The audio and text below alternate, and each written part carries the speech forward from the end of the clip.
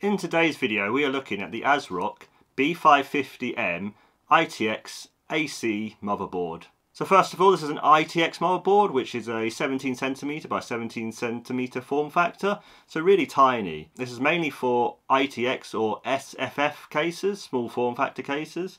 So if you've got like a little tiny case you can maybe do like an APU build on this little thing which is nice. Or you could even go with a little bit of a bigger ITX case and then put in a bigger graphics card and a full size graphics card and really make this a really good gaming PC on a little tiny 17 by 17 board. So pretty impressive.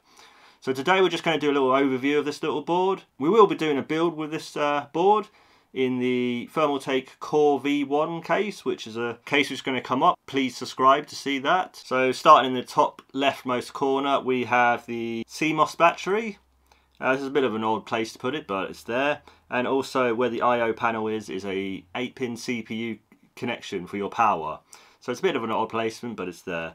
A heatsink over the VRMs, which is kind of nice, but it's not totally covering all of them, and it's not totally it's, not perfect, but it's okay. It's a little bit of uh, heat protection, isn't it? But not great. Top of the middle of the board, we have a CPU fan connection, uh, as well as addressable RGB and the 12 volt RGB old style. So a nice mix of RGB there if you're going to use either style, which is nice. And, it's good to see on a little board like this. Next to that we have uh, one fan header, and we do actually have two fan headers on this board as well as the CPU fan header as well. So on an ITX board that is pretty decent. The RAM is only two slot, but obviously ITX is only two slot. It's the full size DDR4 RAM, not any not any of the SO-DIMM rubbish. So so if you are going from a full size ATX build and you're trying to downsize into an ITX, you'll be able to use your RAM, which is nice. Uh, this is this takes up to 64 gigabytes uh, of DDR4 RAM, probably about 40 800 megahertz or so, but I'll put it down below exactly what it takes. The 24 pin mains connector for your power, so obviously that's standard, which is great. So you don't have any of this funny like HP stuff where they like a custom power header for that. But yeah, anyway, four SATA ports, which is nice.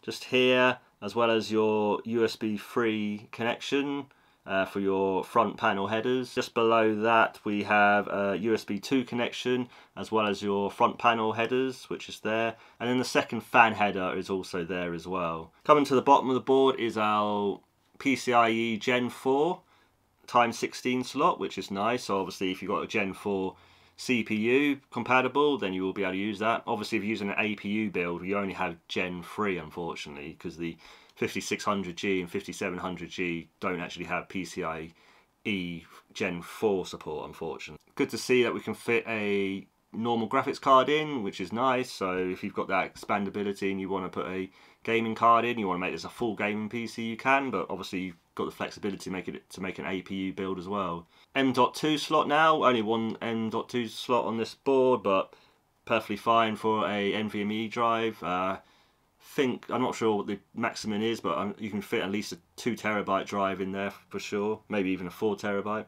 And then just coming to the bottom of the board, we have our HD audio and a couple of other connections, but you're not going to use them. Um, and then we're just going to go on to, to the uh, I/O panel.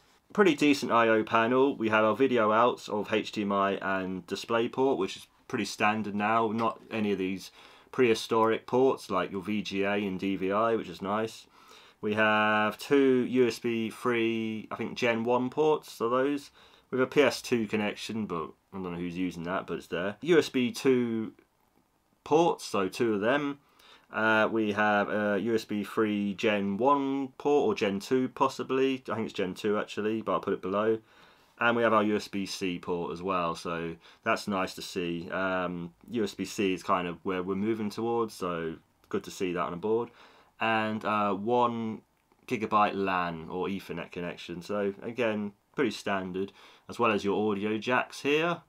And then we have Wi-Fi 6 or AC, I believe it is. So you just plug in your little antennas here into into there, and then that's all good. And the separate I/O shield is just here, which I'll just put on the screen now. So you can see that, and it's got like a little sort of um, sort of like cushion at the back, which is kind of nice. So, like I said, we've got an ITX build with this board. Uh, the Thermaltake Core V1 will be our case, which is a sort of like middle of the road sort of ITX case. Not like a massive ITX case, like some more bigger ITX cases, but not obviously not obviously like an APU type build case, which is like a really tiny, like sort of 10 litre case or not even that. I actually got this board for only £60, which was actually really good. I also got a Noctua low profile cooler with that as well. Um, we'll also see that. Also, I think there's going to be. I also have a video of the Noctua cooler, which I'm going to unbox as well, which is good. Yeah, so obviously, please subscribe so you can see those videos, and please like this video because it really helps me for the YouTube algorithm. Yay! but anyway, guys, I had a bit of fun with this one, and I hope you had did too. So I'll see you guys in the next one. Bye, guys.